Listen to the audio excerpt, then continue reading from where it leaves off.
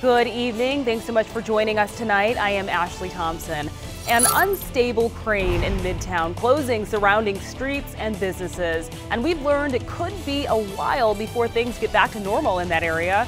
We've been monitoring the dangling crane for days. Our coverage continues tonight with more on efforts to get it down. CBS 46's Yasmina Alston joins us live from Midtown. Yasmina, it is day three of this, certainly a very dangerous situation.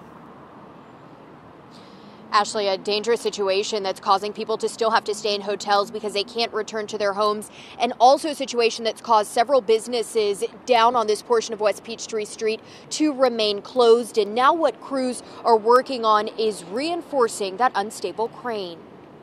As a crane operator, you just don't see them. You don't see them in person. This man was one of many people to stop and look at the scene of an unstable crane in Midtown.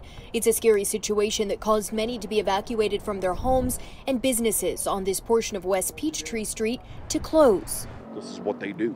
This is part of part of being uh, working with cranes. You learn how to assemble, disassemble them, and sometimes something goes wrong. Andrew's a crane operator himself. He drove to Atlanta on Sunday just to see the two assist cranes the crews are now using to reinforce the unstable one. Andrew tells me it's equipment he's never seen in person and just had to get his eyes on.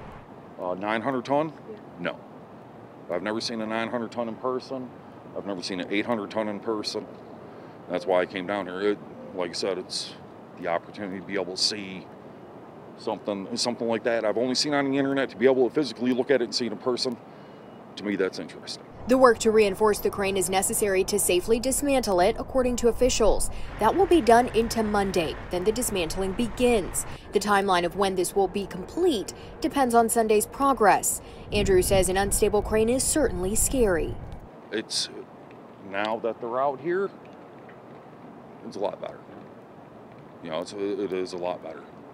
So there's a certain amount of there's a certain amount of risk in running equipment like that every day. You know, it's sometimes some unforeseen things happen.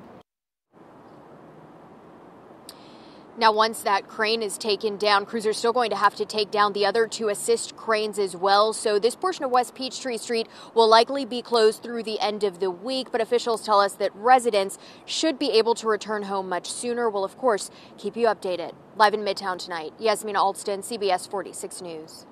Thank you, Yasmina.